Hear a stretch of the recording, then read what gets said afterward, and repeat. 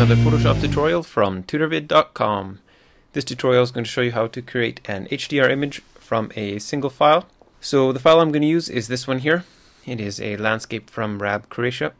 So I took it in the raw format, which is necessary to use this technique. So bring it into Photoshop, just drag and drop it. Now to create the HDR image, we want to get two different images or more than that, but I'll be using two get those two images into Photoshop with two different exposure settings. So the first one, I'm going to look at these buildings down here, and that's going to be my lighter area. So I'll bring up the exposure a little bit, uh, adjust the color temperature to where I think it is good. Alright, so I'm happy with that. I'll click Open Image, and then I'm going to go back into Bridge and drag and drop it into Photoshop again. And now I'm going to be looking at the sky, so I'm going to bring down my exposure a lot and you can see because the image was taken in raw format, uh, there's a lot of information in the whites that wouldn't have been in there if I had taken it in a JPEG.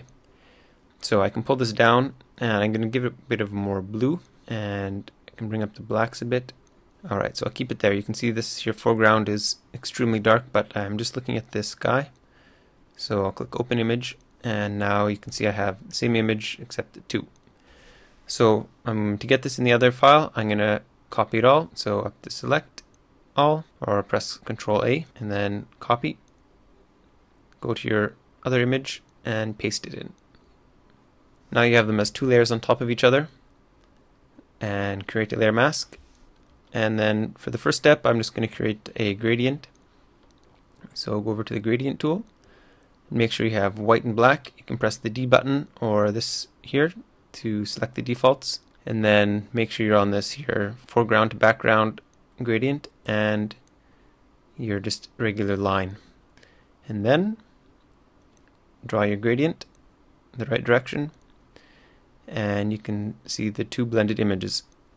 Now I have some sort of problems up here which I'll correct with the patch tool.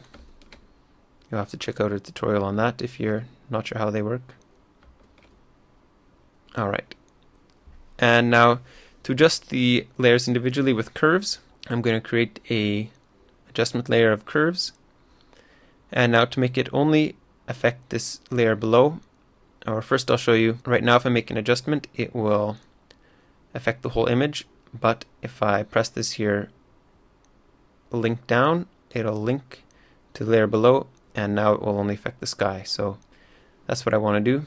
I'll pull up my highlights a bit and create some good contrast. And then I'll make another curves there for the bottom area. And now I've just done a gradient to merge these two layers together. But if you want to go in and brush on the layer mask, you can and bring out some more highlights in specific areas of the image. If you're not sure how layer masks work, you can check out a tutorial on those. But if you paint a few specific areas in your layer mask, you can create a nice effect. And to finish things off here, I'm going to create a little bit of a vignette. And maybe I'll bring out this edge a little bit more too. And a little more contrast in the water perhaps.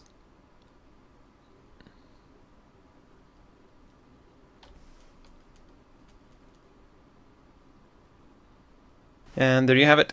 There's the after and the before. Check out more tutorials on tutorvid.com.